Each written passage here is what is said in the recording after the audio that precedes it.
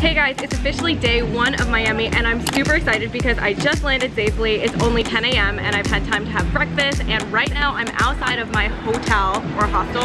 I'm right outside of my hostel which is called Generator Miami. This is an amazing, gorgeous place and it's super affordable so I'm gonna give you guys a quick tour of exactly what it looks like.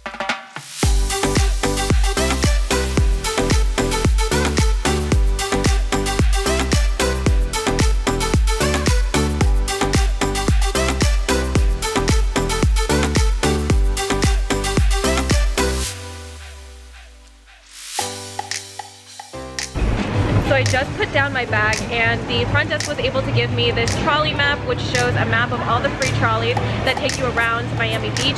So I'm gonna go towards the water and just start wandering around and I'll show you guys what I see. But for right now, it's gonna be a really chill, easy, play by ear type day. so here we go, beach time. Right now the weather is pretty warm. It's like well into the 60s. Um, but I don't think it's quite warm enough to go swimming yet, but I have my bikini either way, so we'll see, we'll see how that goes. Real coconut.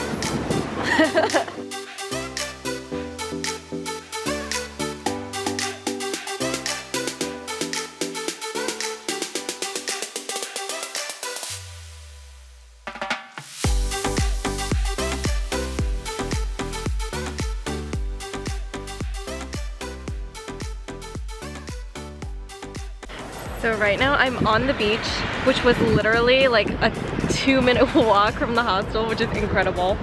And I'm seeing all these like really awesome pieces of coral reef and sponge that are washing up, washing up to the shore. But it is gorgeous! It is so gorgeous!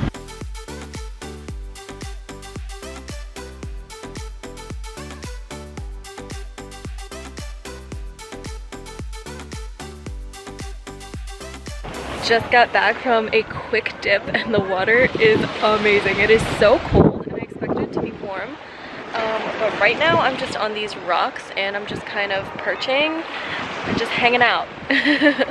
So right now it's around 2 p.m. and I just got back to the hostel. I was able to check into my room, which is a six person female only dormitory. So in this room we have three doubles and I'll show you footage of what that looks like. But as you can see right now, I'm in my bunk, which is a top bunk. First impressions of the dormitory, I'm super impressed with how high tech and how clean and chic the design is. When you access your dorm, all of the doors have keys to them and you just tap and it lets you in. That makes me feel really safe because it means that strangers can't just come in and out of where I'm staying, which is different from other hostels that I've experienced where the doors literally don't even have locks.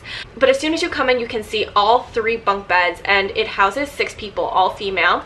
And we also have a shower as well as a separate toilet and sink. That way no one has to fight over anything. One of the highlights is that we actually got really lucky and we have a room that overlooks the pool, which is absolutely gorgeous. Now something that I didn't get to say earlier is that Generator Miami is actually both a hotel as well as a hostel so they do offer both options which is really great because for families that might want a little bit more privacy and space to themselves they are able to get their own room and have a more hotel style experience but if you're staying in the dorms and if you're doing it more hostel style you still get that hotel feel and you still get a lot of hotel amenities including the pool and um, the restaurant that's in the building as well.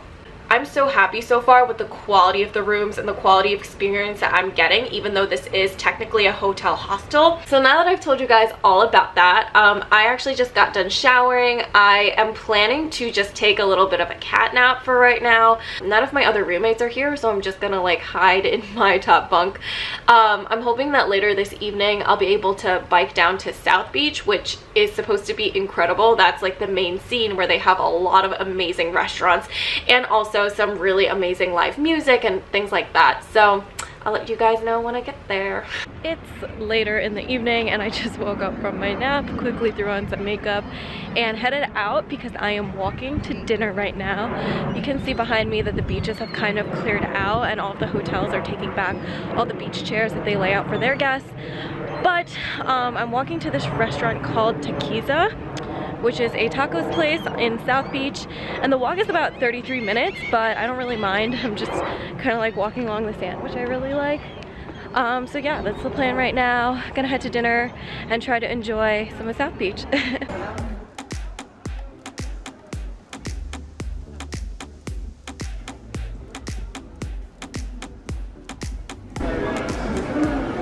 Alright guys, so we have chicken over here and then we have a braised brisket and lastly, I, I'm feeling a little adventurous. So this one is a cow tongue taco. I'm gonna start with the chicken it's the most tame out of all of these.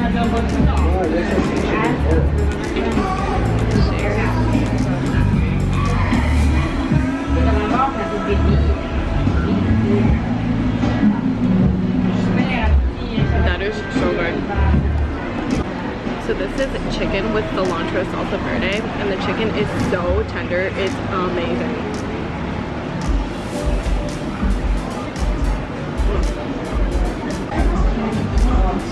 Okay, I'm gonna try the brisket. I'm trying to figure out exactly what's in there.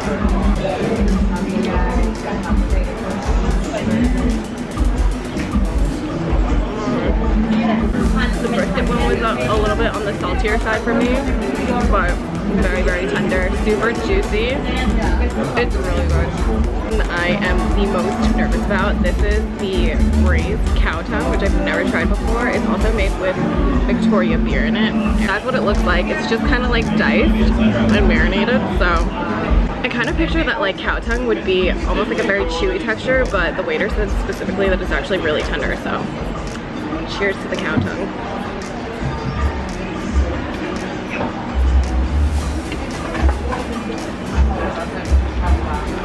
Actually really good. It's like not chewy at all. It's very tender. It does taste a little different than regular beef. It almost has like a, a carb-like texture to it, like it's a little bit more cartilagey, but it's really good. Alright guys, that's all I have for today, but thank you so much for watching the latest video on my YouTube channel, Catch Up with Cassie. If you like what you're seeing, make sure to subscribe down below and to give this video a thumbs up. I really appreciate that you guys are watching my content and I love making it for you guys. So until next time, I'll see you in the next video.